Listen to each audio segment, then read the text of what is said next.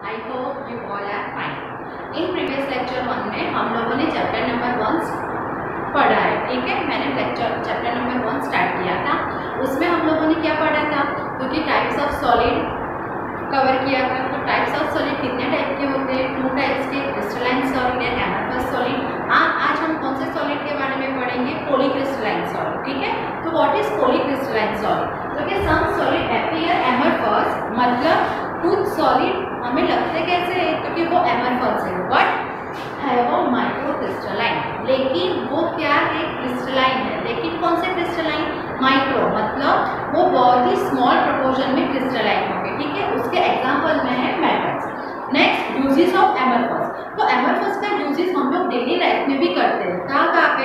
क्योंकि glass rubber plastic वो सब क्या है? डेली लाइफ में हम लोग यूज़ करते हैं.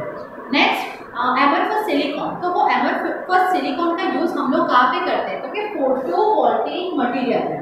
तो वो फोटोवोल्टिक मटेरियल क्या है? तो फोटोवोल्टिक मटेरियल क्या करता है? Conversion of sunlight into electricity conversion of sunlight into electricity मतलब जो सनलाइट है, उसको इलेक्ट्रिसिटी में वो क्या करता है? कन्वर्ट करता है। ठीक है?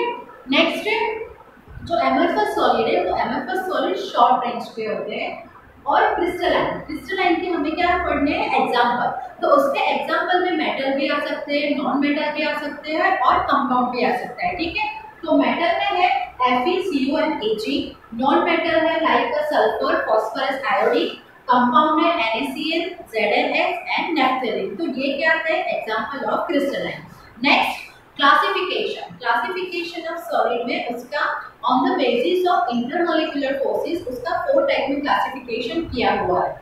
तो वो जो इंटरमोलिकुलर फोर्सेस के अकॉर्डिंग क्लासिफिकेशन है ना तो वो फोर्सेस के बारे में आप सब लोग इलेवेंथ में पढ़ चुके हैं। कौन से कौन से फोर्सेस है?